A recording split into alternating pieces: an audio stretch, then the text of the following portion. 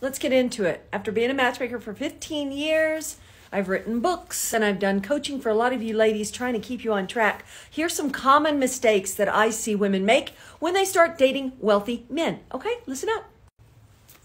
In no particular order. Um, number one, I see a lot of women, they go all in way too soon. They get way too excited. They uh, they put all their eggs in one basket because they're excited about this wealthy guy. But you cannot do that. You can't go all in too soon, all right? So you've got to go at a regular pace. Even if he wants to speed it along, you've got to go at a slow, normal, natural pace. Okay? Hang on, there's number two. Number two, they often just ditch their friends because they've gone all in with this guy and they think it's the end all be all. He's it. He's it. Your ship finally came in. You don't have time for your friends. It's a huge mistake. Don't abandon your friends, ladies. They will be there when you need them, and you will need them. All right? Hang on. I've got a couple more for you. Number three.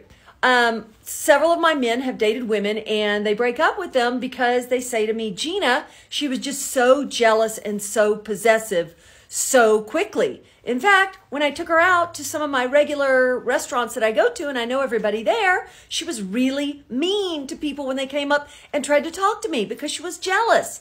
Ladies, you cannot be jealous. You've got to play it cool. You have to play it cool. All right? Hang on. There's more.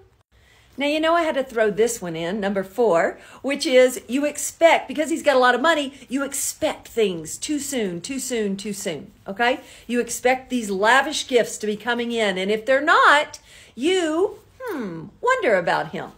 Don't. Play it cool. Don't expect gifts so soon. All right? Be normal. Chill out. Hang on. I got one last one for you. Hang on gosh, this was probably one of the most egregious things uh, that I've ever seen in my matchmaking business. And actually, my client broke up with her because of it. Um, she completely sidelined her kids for him.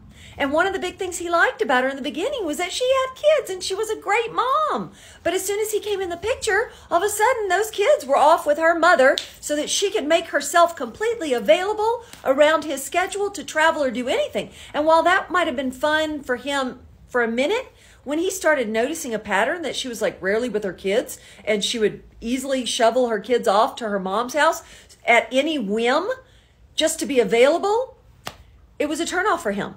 So don't do that. Don't become anybody you're not. Be you. And if it works out, awesome. If it doesn't, if you got him, you'll get somebody else. Okay? I hope it helps.